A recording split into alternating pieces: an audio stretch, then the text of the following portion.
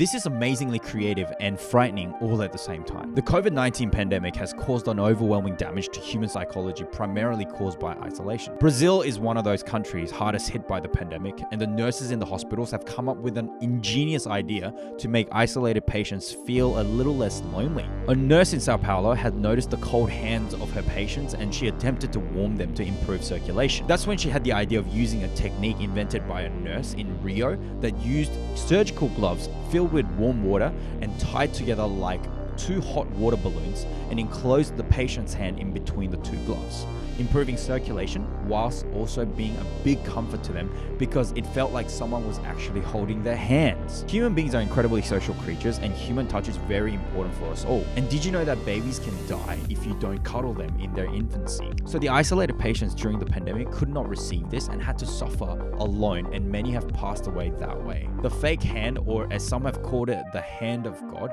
helped many isolated patients feel as though someone was next to them holding their hand. On this side of the peak of the pandemic, let's look out for each other, check in on your friends, and make sure you reach out if you need help.